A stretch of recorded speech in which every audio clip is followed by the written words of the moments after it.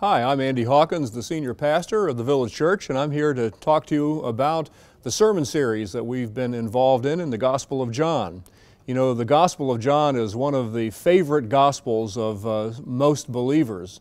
There are so many wonderful stories in the Gospel of John. The issues are so engaging with people, and yet it is a book that is uh, filled with profound theological and biblical insight. It's just one of my favorite books, and it probably is one of your favorites too. Well, we've been involved in a series entitled Signs of Life, and we've been at it for some time, but the Gospel of John is a lengthy gospel, and so there's plenty of time to get involved in a series and really understand the essence of the gospel as a result. It's interesting, when I study a book of the Bible, I'm usually looking for a purpose statement. And some books of the Bible have a statement like that, and some don't, but the Gospel of John actually does.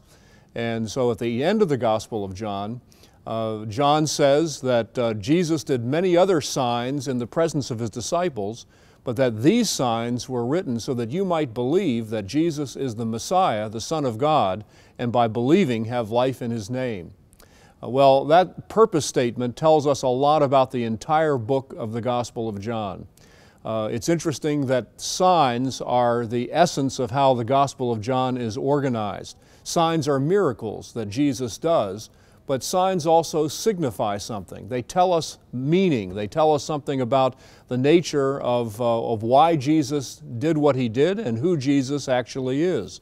And so the Gospel of John is a book about signs, but it's a book about signs with a purpose so that people would come to believe that Jesus is the Messiah, the Son of God.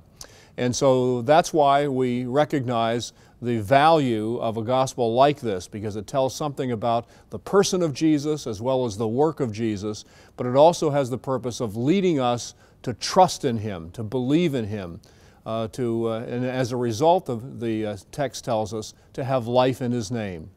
And so believing in Jesus brings us an abundant life and as a result, we have an opportunity to, uh, to really grow in our faith. And that's why the series is called Signs of Life. All the signs or miracles that are described in the Gospel of John lead us to faith in Jesus Christ, and by believing in Him, we can have the abundant life that God has intended for us. We hope that you'll join us on Sunday mornings at 10:15 as we continue to pursue the Gospel of John, and uh, you'll find your hearts encouraged as a result.